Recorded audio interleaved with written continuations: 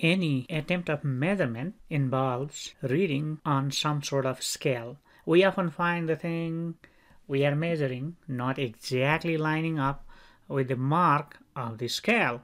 Question arises, what is the reading? What is the uncertainty involved? In this video, you'll find the answers. Don't get surprised if you end up learning even more. In this sketch, you see the arrow is pointing near 18. Is the reading 18 centimeter? I don't think so. It is not 17.5 centimeter either. It is somewhere between 17.5 and 18. So what do you write? You write measured value as the average of this range. But the average is not the exact reading.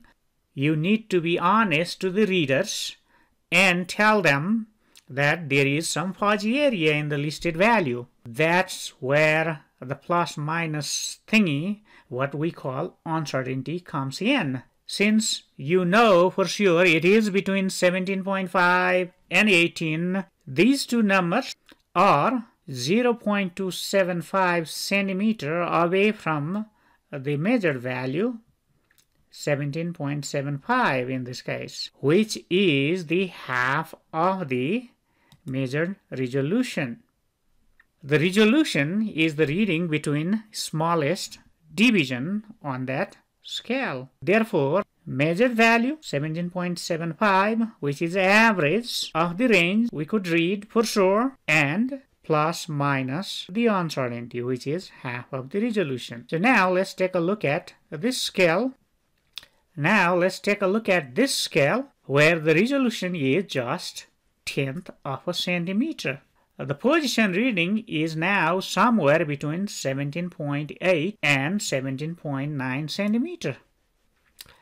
Therefore, the measure value is the average of these two numbers which is 17.85 centimeter. The uncertainty is half of the resolution which is 0.05 centimeter in this case. The position reading in this case, oh, looks a lot better. We have we have this position reading with this resolution, this position reading with this resolution.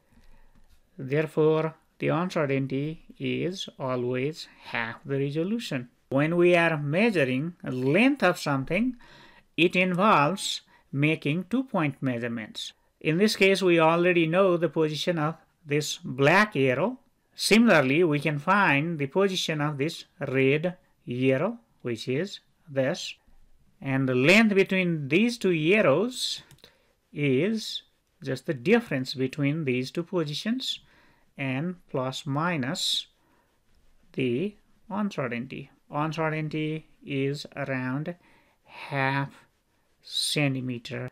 We'll talk more about adding, subtracting, dividing and multiplying uncertainties in the next video. Let's suppose we have the position measurement. We Can visualize position measurement by drawing by drawing a dot and whisker the dot here represents the average value of the measurement. The whiskers on two sides represents the uncertainty.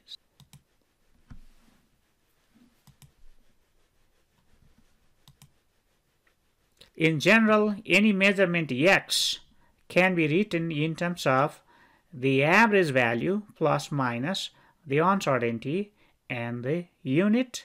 Remember that this uncertainty did not come from our mistake on reading.